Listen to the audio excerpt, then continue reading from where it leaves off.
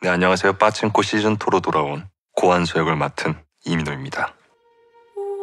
빠친코 시즌2는 시즌1에서 7년이 지난 1945년부터 시작하는 이야기고요. 땅을 딛고 살아가는 사람들의 처절하고 치열하고 애틋한 그런 이야기입니다.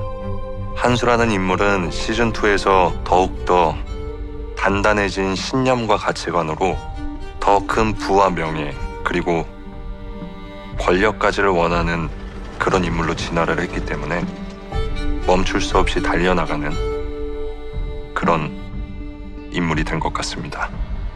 그때 그 농장에서 그게 뭐? 내가 그렇게 만들 거야. 빠친코 시즌 2는 훨씬 더 다양한 인물들과 훨씬 더 깊어진 이야기로 여러분들을 찾아뵐 예정이고요. 아주 다채롭게 얽혀있는 그런 인물들의 감정선을 따라가다 보면 굉장히 오랫동안 여운이 남을 수 있는 그런 작품이 될 것 같습니다.